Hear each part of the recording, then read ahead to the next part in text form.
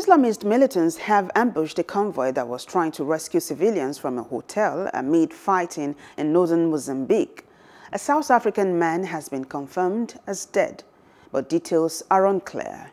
Hundreds of people fled the fighting which began on Wednesday in the town of Palma.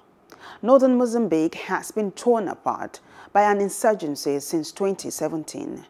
Militants linked to the Islamic State group are behind the conflict in the predominantly Muslim region of Cabo Delgado.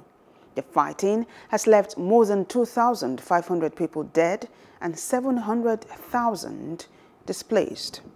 Hello, hope you enjoyed the news. Please do subscribe to our YouTube channel and don't forget to hit the notification button so you get notified about fresh news updates.